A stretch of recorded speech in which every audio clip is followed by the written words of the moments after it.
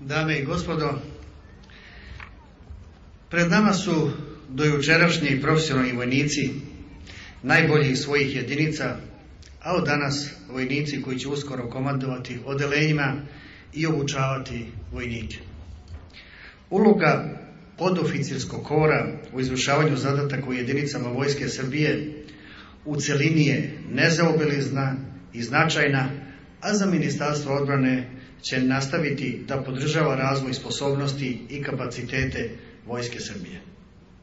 Građani Srbije treba da znaju da vojnici i starešine Vojske Srbije u borbi protiv svih pretnji po bezbednost naše zemlje i u mirovnim misijama širom sveta uvek i na svakom mestu čuvaju i čuvaće ugled i čast Srbije. Vodnici, vodnici, podoficiri Vojske Srbije, čestita vam na unapređenju u prvi podoficirski čin. Budite, budite ponosni na pripadnost podoficirskom koru i negujte svest o značaju podoficira u sistemu komandovanja. Ličnu hrabrost, snažnu volju, samodisciplinu, odgovornost i sposobnost za timski rad utkajte u sposobnost svojih jedinica. Svoje vojnike obučavajte, učite ih disciplinom i gradite pozitivan vojnički duh, jer svaku instituciju pre svega čine njeni ljudi i način na koji ljudi organizovani i motivisani uspešno izvršavaju postavljeni zadatak. Budite uzor vojnicima. Uvek težite najbolje. Usavršavajte se. Razvijajte svoje sposobnosti i izgrađujte svoju ličnost.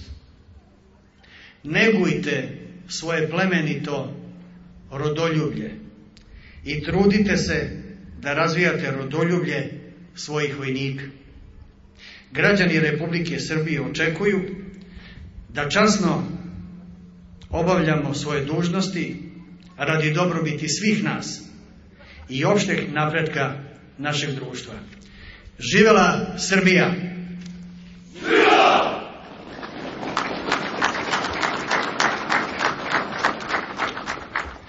Želeo bih još nešto da vam kažem. Danas smo u kasarni Stevica Jovanovića.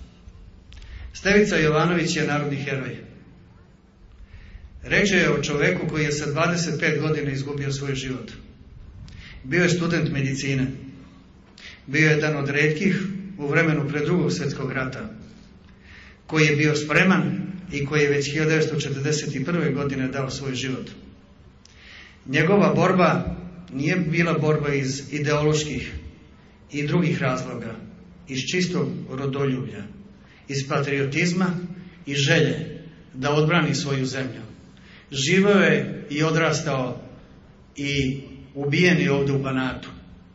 Ne zaboravite da postoji uvek nešto vrednije i od naših života i nešto na čemu treba da učimo i sebe i svoje potomke. A to je ljubav predaka koja je iskazivana za svoju domovinu. To osjećanje ne da moramo vratiti, nego je to osjećanje sa kojima se moramo dičiti. Tu nema politike, to ima samo nečega što je iznad svega, a to je domovina, to je otačbina. Ne zaboravite nikad ovu kasarnu i ne zaboravite nikad one koji su svoje živote dali da bismo živeli u slobodu. Živeli.